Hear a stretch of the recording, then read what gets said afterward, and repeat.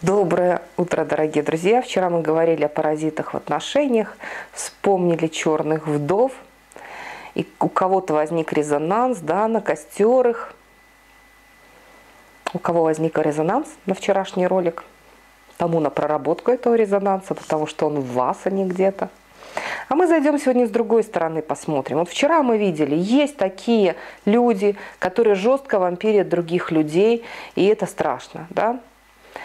А теперь давайте посмотрим на этих людей с позиции социума. Я беру произвольную пару, сейчас не привязываюсь ни к одной из тех, которых я наблюдала в своей жизни.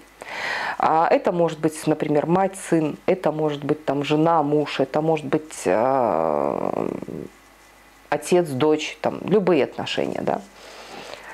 Ну, основную пару берем. Вот, например, есть мать, например, старушка – и вот у этой прекрасной старушки умирает молодой сын. Он тяжело болен. И мать бросается по соседям, говорит, помогите, пожалуйста, там, может, врача знаете, может, еще что-то. Вот такое горе у меня. Да? И вот представьте, теперь сказать, что вот эта мать энергетически черная дыра, в которую уходят жизненные силы ее сына. Вот представляете, какой разнос в социуме? А, как может мать отказаться и не заботиться об, об вот этом своем умирающем ребенке? Но это вообще уму непостижимо. Или жена, которая вот с мужем работала на одной работе, да, и у них социум общий, у них люди кругом общие, да, и тут э, он тяжело заболел, как она может от него отказаться, как она может его оставить, ведь что подумают они и люди? Ведь это же социум говорит, как ты его не досмотришь, Такого быть не может. Более того, у людей, у которых стоят вот эти а, драйвера усиленные вампирические, да, которые а, закачали на себя программу второго человека, благодаря которой сливают его жизненные силы, они же сразу обращаются куда? В социум. Как это? Мне отказали в поддержке, мне отказали в милосердии. И пошло, как я могу его предать? Как я могу отказаться от своего ребенка или от своего супруга? Что я не то говорю? Так оно есть, да. И пошли за поддержкой в социум. А когда речь идет о милосердии, сразу кто включается? Церковь, да, там такие плохие, они хотят забрать и покуситься на этого товарища. Они там ему, его с кладбища хотят убрать. Да нет, нет, нет, уже место приготовлено, уже есть тот, кто отпевать будет. Давайте все дружно возьмем и всем социумом его проводим из этой игры. Я говорю страшные вещи. Разве это не так у нас происходит в обществе? И что делать тому, да, кто, по сути дела, жертва, но в это время жертвой вдруг оказывается его палач. Да? Роли поменялись так раз. Тот, кто был палачом, тот резко заваливается в социуме жертвой, и ему вся все внимание сваливается, ему вся энергия сваливается еще больше, потому что у него вампирические программы работают. А тот, кто нуждался в этой энергии, кто реально нуждался в поддержке, да, ему достается в лучшем случае физическая поддержка. Его проводят в туалет, помоют жопу, вколют лекарства, благополучно приготовят гробик и положат в него. А то, как течет энергия, люди не видят. Они не видят, что в это время у этого человека забирается еще больше. И это страшно. А это всего лишь способность человека слышать свою душу. Всего лишь. Да? И вот эти товарищи активные, достаточно агрессивные. Если что-то сделаешь не по, не по их представлениям, агрессия включается. Как же? Весь мир нам должен. Там столько программ подтянуто. Потому что вот этот вот, э, это не значит, что это люди плохие. Я еще раз оговорюсь. У них есть дисбаланс эго. И в дисбалансе эго программное обеспечение сделано так, сдвинуто таким образом, что есть некая доминантная часть, которая выстроила под себя остальные программы, и любую программу, за которую ты не дернешь, будет служить вот этой программе вампирической, паразитарной. Да? По сути дела, палач, который очень классно встраивается, как хамелеон, в жертву в социуме. И вот этот человек в это время зарабатывает себе карму. Потому что вот там, где много, да, потом следующей жизни он будет равнять, чтобы у него было мало. И это не значит, что он будет лежать жертвой, а, вот точно так же в болезни или еще как-то, но будет такой сценарий развития событий, чтобы эго было в балансе а это значит отхерячит по полной. Ну, по-другому не бывает. Вот вам основа формирования следующей ресурсной травмы и следующего сценария на следующую жизнь. Иногда еще в этой жизни, вот сейчас очень быстро отработки идут, и иногда в этой жизни прямо энергия перетекает, и пошел следующий сценарий, следующий, следующий. И тогда берутся не те ресурсные травмы, которые были старые, которые подтянула выше, а берутся прям свежачок, и он сразу уходит в отработку, и человека просто колотит, шмотает, и человек бедный, несчастный. И кажется, я же такой хороший, я же досматривал этого лежачего, я же тут а, весь всю жизнь на него потратил, да, а тут херяк и снова прилетает, да. Ну, так бывает, и вы знаете, и людей знаете в окружении, у кого так бывает. Но ни у одного из них, ни у одного из них, но во всяком случае я не встречала, чтобы включился мозг, чтобы эти программы отработать осознанно. То есть только по карме. Они просто валят тупо ходилка-стрелялка по карме. Вот как программа бот от боли к боли.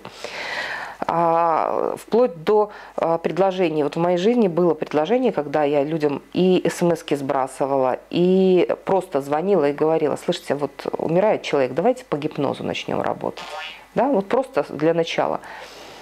И а, вы знаете, кто отказывался? Умирал муж, а гипноза боялась жена. И так и не дала она пойти ему заниматься. А, умирал муж, а от монастыря отказалась жена.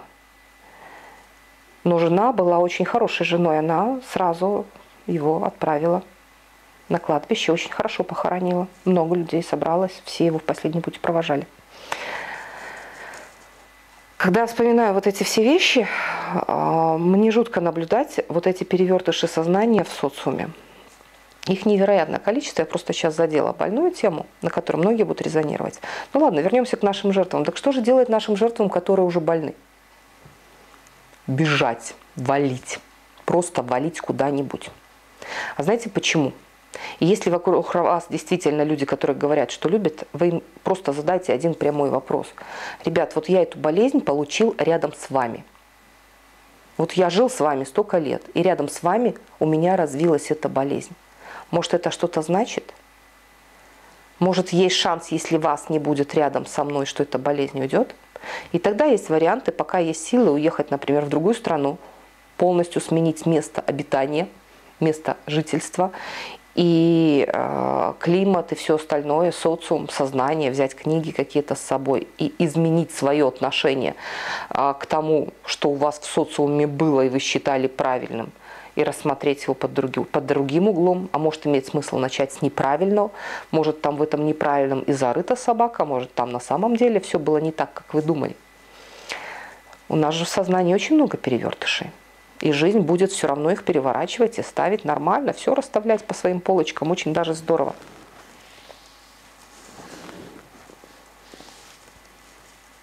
Просто валить, просто бежать, просто уйти в монастырь просто изменить свою жизнь на 100%, по всем параметрам, абсолютно по всем параметрам, и тогда у человека появится шанс.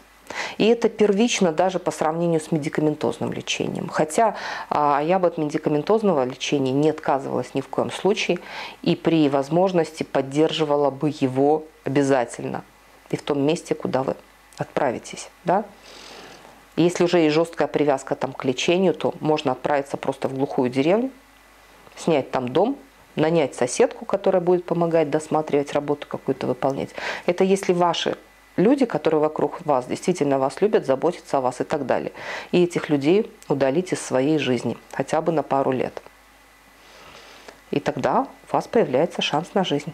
Потому что там еще подсознательные механизмы будут срабатывать. Подсознательные механизмы, знаете, какого плана? На выживание. Инстинкты на выживание у нас очень сильные. И если э, у нас условия определенные, где надо выживать, то они тут же дадут о себе знать и поставят нас, включат вот те ресурсы в нас на выживание, которые идут в экстремальные условия у человека, э, в экстремальных условиях у человека. А это, поверьте мне, это огромные ресурсы. А еще надо учиться слушать свою душу. Надо учиться слушать свою душу, что она говорит, потому что она не врет. Потому что все время, сколько мы ее подавляем, она, конечно, молчит, молчит. Ходилка-стрелялка не слушает, не слушает, но в какой-то момент она принимает решение о смене тела, когда она понимает, что она уже больше не достучится до этой ходилки-стрелялки. То есть она становится ей неинтересна. Вот представьте, вы сидите за компьютером, там ходит некое тело, вы хотите управлять, чтобы оно ходило и выполняло те задачи, которые вам надо, а оно вместо этого не слушает своего джойстика, да, идет непонятно куда, делает непонятно что, в нем работают какие-то зацикленные драйвера и так далее. И еще, господа, в обязательном порядке, если есть какие-то психосоматические нарушения, значит, есть два варианта в подсознании развития проблем. Всего два варианта. Первый вариант. У вас есть некие лишние программы, некие лишние убеждения, перекосы в системе ценностей и убеждений, которые деструктивно работают в психике и мешают этой ходилке-стрелялке э, слышать свою душу. Это первый вариант. Второй вариант – это у вас не хватает определенных драйверов, и вы пользуетесь чужими, и за это платите. О чем говорю? Вот представьте, а, жизненный пример. Мать растила сына одна, например, без мужа. И все время говорила ему, не ходи, не делай, ты должен вот это. Пошел, купил вот это, сходил, сделал вот это, устроился на эту работу, пошел учиться вот в этот вуз, женился вот на этой девушке. Знакомо? Я когда смотрю на родителей своих, а, своих детей, да, одноклассников сына, полкласса такого. Из первого класса самое главное вот начинаются вот такие родители, которые э, этих первоклашек уже затукивают, и к 11 классу они уже слепые, горбатые, кривые, и пошло. Это ведь вы, родители, делаете их слепыми, горбатыми, кривыми и так далее. Не школа, вы родители. Если вернуться к нашим баранам, а, к маме, которая запрессовала своего сына, вырастила таким вот, натюкала, натюкала, натюкала, и у сына, например, нет драйверов на зрелое принятие решений, на самостоятельное принятие решения. А, эго получается недоразвитым, незрелым, там не хватает вот этих вот драйверов. И тогда эти драйвера надо человеку установить. И когда эти драйвера устанавливаешь, то у человека в жизни тут же развивается событийный ряд, подтверждающий. Нам же обязательно надо, чтобы драйвер установился, чтобы программа установилась. А, надо предустановка и потом жизненный опыт, и потом ставится установочная программа уже дальше, да, на работу в жизни. И получается, что после того, как поставил эти драйвера, у человека обязательно развивается сценарий, чтобы был подтвержден он жизненным опытом. И эта программа уже идет подтвержденная жизненным опытом и, и работает дальше как установка. Таким образом, а, любая, любая установка дополнительных драйверов, которых в детстве не доставила мама и взяла эту опцию на себя, ее надо будет делать обязательно с человеком, который умеет это делать. И это тоже кусок работы. И теперь представляете, услышать душу, поставить драйвера, удалить драйвера и так далее.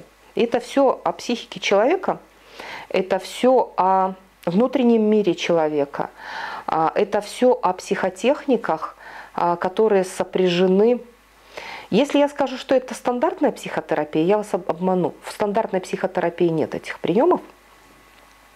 Но есть люди, которые увлечены экстрасенсорикой и магией и умеют это делать. Да? Вот тогда к ним можно обратиться и доставить либо самостоятельно. Кстати, во многих своих роликах я очень много психотехник проговариваю, которые идут именно на самостоятельную работу.